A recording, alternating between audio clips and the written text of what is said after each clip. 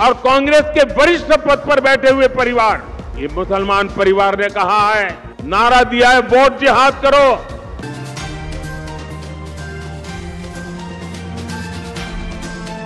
हाल ही में कांग्रेस नेता सलमान खुर्शीद की भतीजी मारिया आलम खां के एक बयान पर खूब बवाल मचा जो कि अब तक जारी है। दरअसल सलमान खुर्शीद की भतीजी मारिया आलम खां ने खुलेआम वोट जिहाद को लेकर बातचीत की। इसलिए बहुत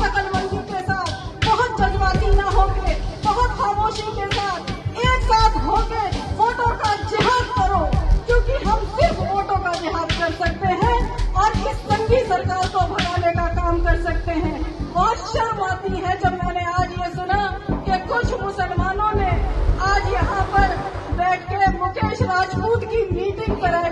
मुझे लगता है समाज से उनका हुक्का पानी बंद कर देना चाहिए। इतने मतलबी मत बनो कि बच्चों की जिंदगियों से खेलो। हमारे बच्चों की जानों से खेलो।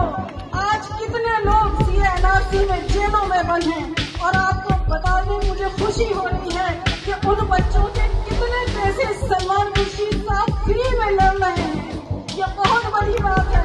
की, जिसको लेकर बीजेपी लगातार निशाना साध रही है। पीएम नरेंद्र मोदी ने भी इस मुद्दे को एक चुनावी जनसभा के दौरान उठाया और जमकर कांग्रेस पार्टी पर निशाना साधा। आइए आपको दिखाते हैं कि प्रधानमंत्री नरेंद्र मोदी इस दौरान क्या कुछ बोले। साथियों, भारतीय जनता पार्टी ने पहले भी कहा है, आज भी कहा देश की एकता और अखंडता के लिए, देश के सर्वांगीण विकास के लिए, हमारे एस एससी, एसटी समुदाय, हमारा ओबीसी समुदाय, हमारे जनरल समुदाय के गरीब वर्ग उनको जो अधिकार मिले हैं, उन अधिकारों को न कभी हम हाथ लगाएँगे और न ही हम किसी को हाथ लगाने देंगे। साथियों इंडी गठबंधन की एक और रणनीति की पोल उसके ही नेता ने देश के सामने खोल दी है। अब इंडी गठबंधन ने मुसलमानों से वोट जिहाद करने को कहा है।